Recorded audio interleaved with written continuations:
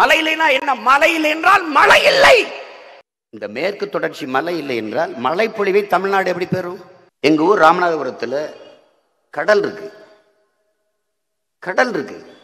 ஆனால் நாங்கள் வறண்டு போயினோம்? ஏன் வறட்சி மாவட்டமா இருக்கு தமிழ்நாட்டில்? கடல் இருந்தும் நாங்கள் மழைப்பொழிவை ஏன் பெற முடியவில்லை? கடல் இருக்கு. மலை இல்லை. ஆனால் கடல் இல்லை. மதுரை தேனி கம்பம் குமிழில கடல் இல்லை. அவன் எப்படி மழைப்பொழிவை பெறுகிறான்? எப்படி செழிப்பாக இருக்கிறது என் நிலத்தை விட அவன் நிலம் எப்படி செழிப்பாக இருக்கிறது?